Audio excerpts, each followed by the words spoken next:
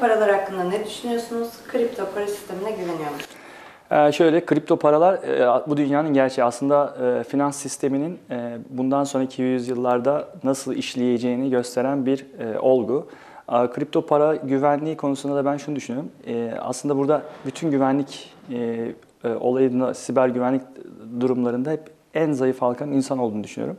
Günün sonunda insan olgusu bu ticareti yaparken dijital dünyada mutlaka işlemler yapacak ve bu dijital dünyada yaptığı her işlemde bir şifreleme ve sorgulamaya maruz kalacak. Bu şifreleme ve sorgulama sonucunda yapmış olduğu yanlışlar aslında bizim kripto para ticaretinde de en belirgin, en zayıf e, güvenlik açığına neden olacağı için ben burada e, temel unsurun insan olacağını düşünüyorum. Güvenliği insan e, olgusundan başlayıp burayı bilinçlendirip yukarı doğru teknoloji anlamında geliştirmemiz gerektiğini düşünüyorum.